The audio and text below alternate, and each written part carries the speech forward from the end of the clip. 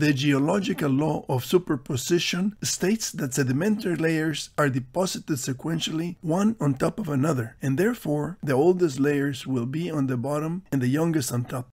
This presentation examines how this principle applies to the Carolina Bays by examining their overlaps. The law of superposition is one of the fundamental principles of geology.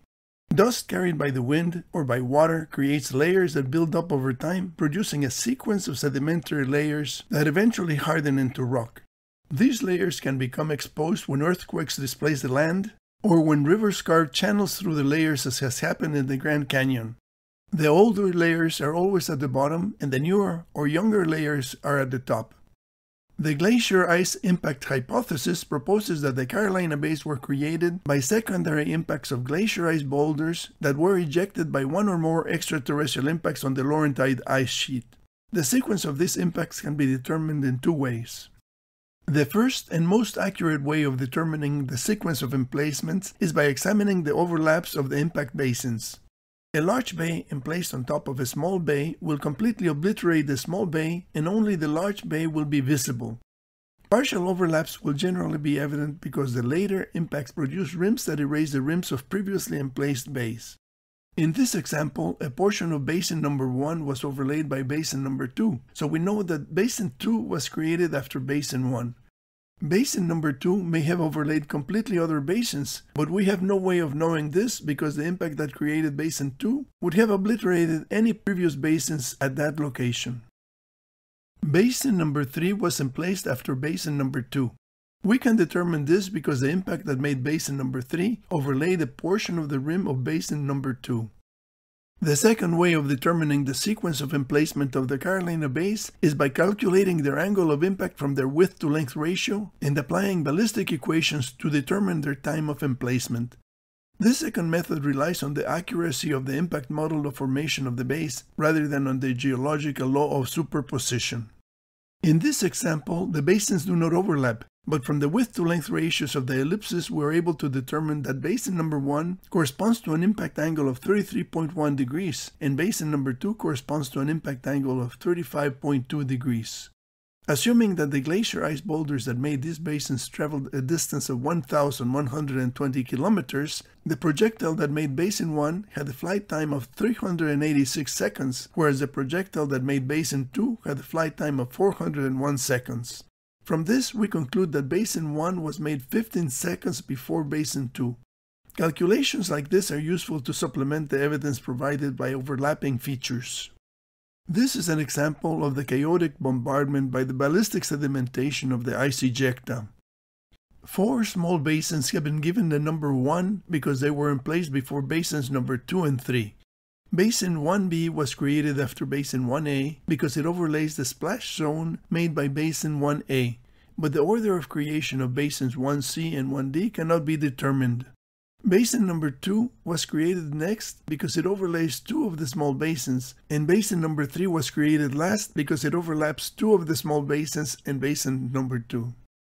Dating studies of the Carolina Bays have produced a wide range of dates, the paper by Brooks, Taylor, and Ivester published in 2010 says that, quote, Based on 45 optically stimulated luminescence dates, active shorelines and associated aeolian deposition occurred during marine isotope stage MIS2 to late MIS3, 12 to 50,000 years before the present, MIS4 to very late MIS5, 60 to 80,000 years before the present, and late MIS6, 120 to 140,000 years before the present.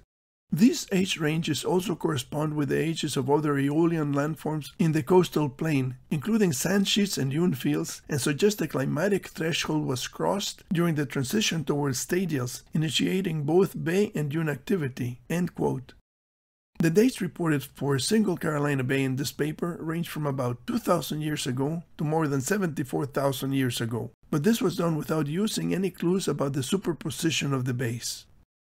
Unfortunately, the dates for a single Carolina Bay do not allow us to evaluate the accuracy of the optically stimulated luminescence dating method against the relative dates implied by the overlaps of the bays. It would be useful to conduct an experiment on Carolina bays that overlap to see if the OSL dates confirm the relative sequence of emplacement indicated by the law of superposition. If the dates do not agree with the stratigraphic sequence, then we will know that there is something wrong with the OSL dates. Thus far, the accuracy of the dates obtained by OSL has not been questioned, and this has led to the conclusion that the Carolina Bays developed over thousands of years. By contrast, the impact hypothesis proposes that the Carolina Bays and the Nebraska rainwater basins, which share the same elliptical geometry, were created within a few minutes of each other by a catastrophic saturation bombardment of glacier ice boulders. From the ballistic equations, we know that the time of flight of the glacier ice boulders ejected by an extraterrestrial impact on the Laurentide ice sheet by the Great Lakes was approximately 6 to 9 minutes, depending on the launch velocity and the launch angle. During these three minutes, there was a catastrophic hailstorm of enormous glacier ice boulders that killed megafauna from the Rocky Mountains to the east coast of the United States. These two large Carolina bays, measuring almost one kilometer, were made by impacts of ice boulders about the size of Yankee Stadium. The two large bays were formed by the last of a series of impacts in the same area.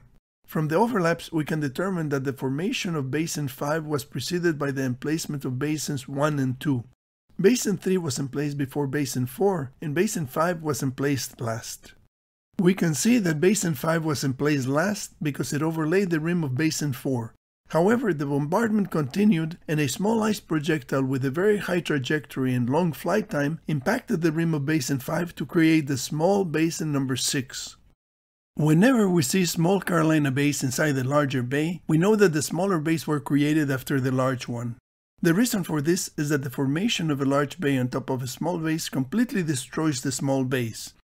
In this example, we see several small bays inside the large one. This indicates that some small chunks of ice fell after the big one.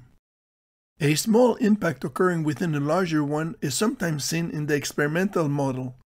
This photograph shows an arrow pointing to the circular impact made by some debris right after an ice projectile made a larger inclined conical cavity.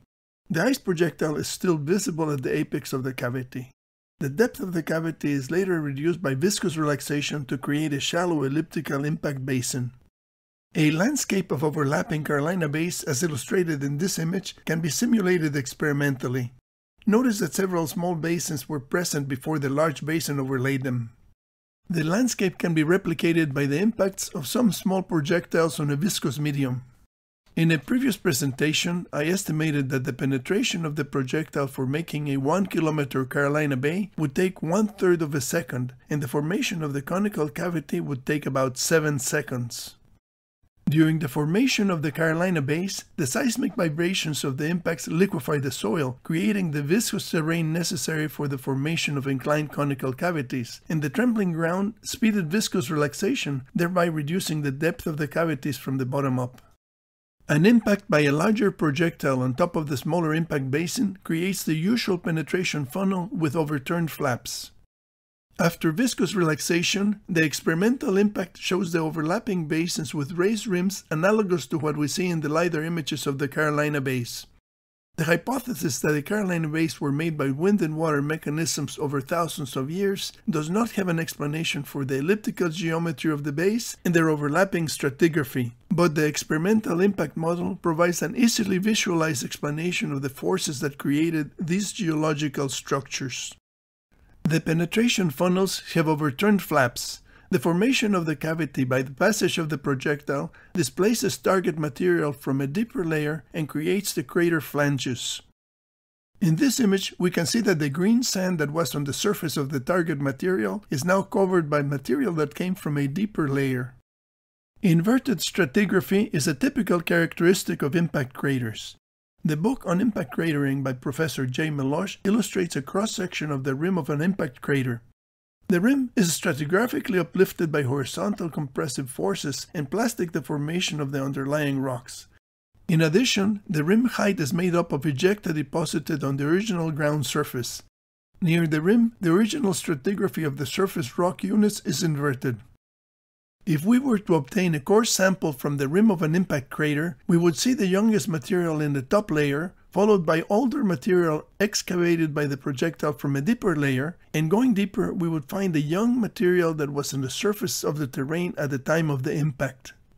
Fortunately, such a core sample from the rim of a Carolina Bay was reported in a 2012 publication by Ted Bunch and 17 co-authors.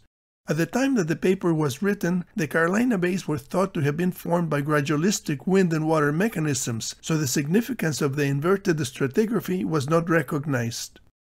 The authors write, quote, the two dates at 107 and 183 centimeters below the surface were used to generate an age-depth model, excluding the sample at 152 centimeters below the surface because of the large magnitude of the age reversal, that is, older sediments lying stratigraphically higher than younger sediments. End quote. The sample at 183 centimeters below the surface seems to correspond to the surface at the time of the extraterrestrial impact 12,900 years ago. Viscous relaxation reduces the depth of the conical cavities and the overturned flaps become raised rims. Using optically stimulated luminescence to date the Carolina bays is problematic because OSL is intended for use on sedimentary layers and not on a landscape whose stratigraphy was scrambled by impacts. Even though optically stimulated luminescence is a very accurate dating method for sedimentary structures, when applied to the Carolina Bays, it will be necessary to test whether this method is able to give results that are consistent with the geological law of superposition. Thank you for joining me in the investigation of the Carolina Bays and the Younger Dryas Cataclysm. I will continue to examine the Carolina Bays one bay at a time. My book about the Carolina Bays is available at Amazon. Please subscribe to my YouTube channel to be notified of future videos about the Carolina Bays.